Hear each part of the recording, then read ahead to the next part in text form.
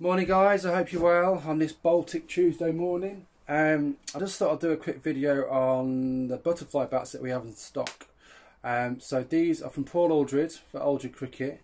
Uh, and yeah, I just wanted to show you exactly what we've got. So to some people, the butterfly stain found on butterfly willow is quite ugly, but for me, I think he looks great. And what you have to pay attention to is the grain structure. So as you'll notice, going through the toe, straight up the face of the bat.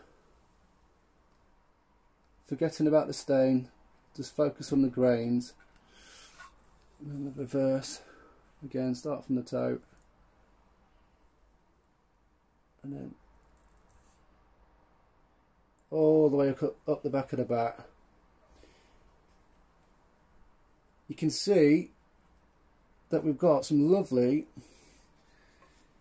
straight grains giving it a lovely grain structure. So fundamentally that's what we're exactly what we're looking for when you're looking for ping performance and, and overall a fantastic piece of willow. Um, for the price point of 180 pounds I can't imagine you get much of a you, I just can't see you getting a better bat to be honest you know, coming from Paul, who, you know, is renowned as being a master bat maker, particularly an expert in dealing with butterfly willow. Um, just a fantastic bat, really. That's the first one we have. That is a, that's a short of two pound eleven, but you know, it picks up so light. It's like I'd say two nine, if that. Um, that's the first one we have in stock. So yeah, just again to show you the butterfly stain. I'll be honest, the light isn't great in here, but I think you can tell, you can definitely see what I'm talking about. Straight grains, running through the toe, just beautiful really. If I just put this one to one side and get the other one. This bat here, this is this is just over two nine, so it picks up like a feather.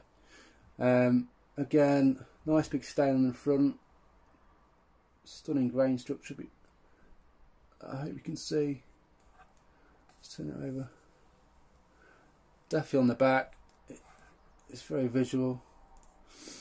Um, but as we should know from now that the butterfly stain itself is just purely cosmetic uh, and has no fundamental impact on the performance of the bat. Um, so just bear in mind this when you're picking a bat that you know, it doesn't always have to be the top end willow.